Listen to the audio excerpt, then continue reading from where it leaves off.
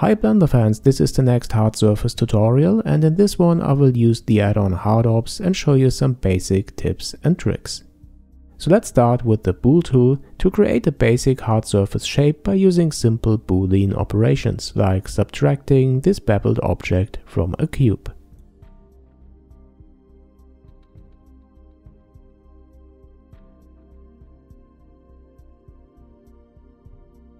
OK, now select both objects and press difference.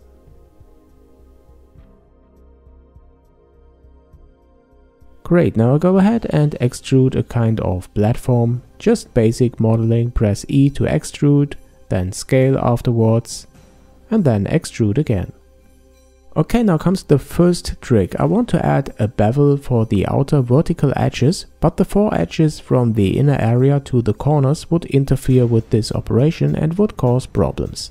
I can dissolve these edges, but we need at least two edges connecting the inner area with the lower one, so I used the knife tool to cut in two edges, one on the left and one on the right side. And now I can select the interfering edges and get rid of them by using dissolve edges. And when I select these four outer edges now and start a bevel operation by pressing Ctrl B, this can be done without any problems. Nice, and I think we can apply a bevel for these two edges as well. Now how about adding a cylinder to the inside of the form?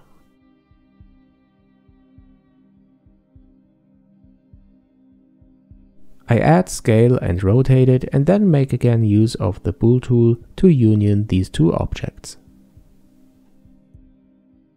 By the way, you can also show the operations of the bool tool when you have two objects selected in object mode and press Ctrl, Shift and B. And I think this shape looks quite cool already, but to make this really pop, I showed in the previous tutorial that we can make use of the auto smooth with a certain angle and then add sharp edges and so on, but this time I won't do this manually, I will use the HardOps add-on instead. You can activate this by pressing the Q key and then a menu will pop up and you can select C Sharpen. The HardOps C Sharpen command is a shortcut for all the settings we made in the previous tutorial to make our object look really great. Set auto smooth, add sharp edges, bevel weights and a bevel modifier. You can also go ahead and press Q, then select B width to adjust the bevel modifier to set the width by moving the mouse, or adjust the number of segments by using the scroll wheel.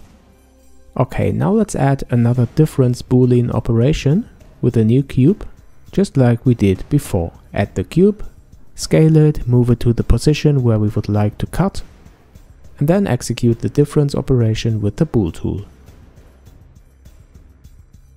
And here you can see the problem. The edges after the cut are not beveled. The bevel modifier is not taken into account, not recalculated. So I undo this operation and let's have a look what HardOps can do for us. Again, I select both objects, press Q and then cut in.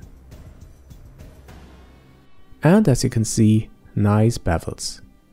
The HardOps cut in sets the sharp edges, the weight and reapplies the bevel modifier. So this is really useful. What else can we do? I want to cut in again an object, but this time I create a custom one first.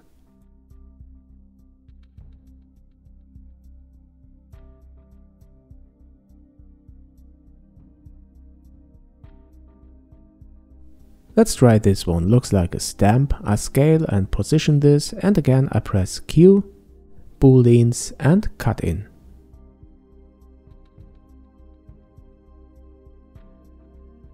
Great, but I will use B width again to make it look even more crisp.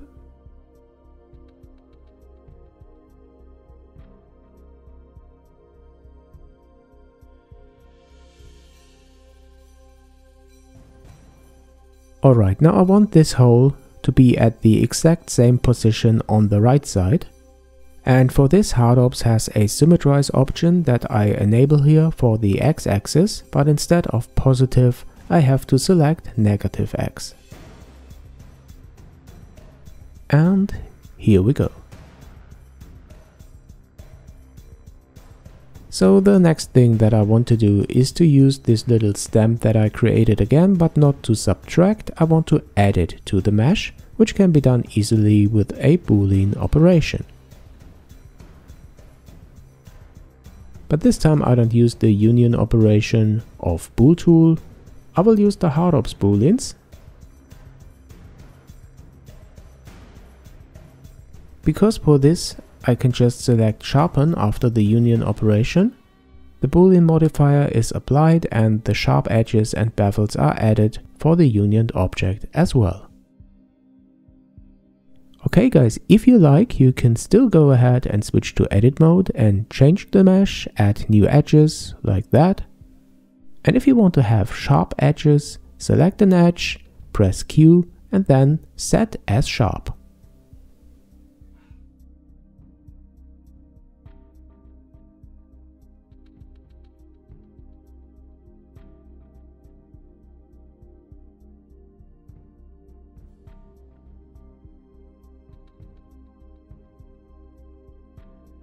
And again, I want to symmetrize this. So like before, press Q, find symmetrize under mesh tools and minus X.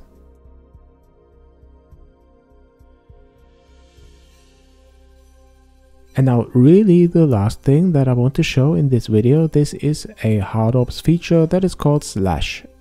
I will again add a simple cube, move it to the location where I want to slash it in. First select the cube after that, the hard surface object, press Q, booleans and slash.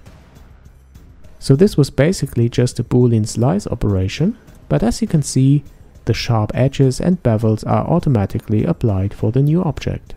And if you like, you can still add bevels for this, no problem. I join these two objects now by pressing Ctrl J, and then I will again symmetrize, but this time for positive X.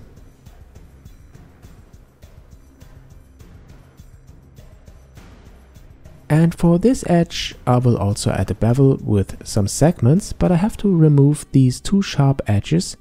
So I will select them and use Hardops clear as sharps to get a smooth transition. Nice, and now I will symmetrize and call this done.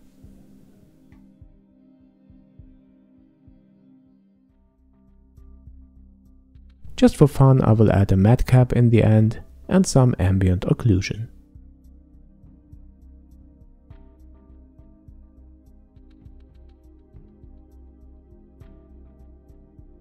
The bevel is a bit too thin, so I will increase it again. So guys, that's it. I really hope you liked this video and my channel, and if you do, please don't forget to subscribe to be notified when the next tutorial is online.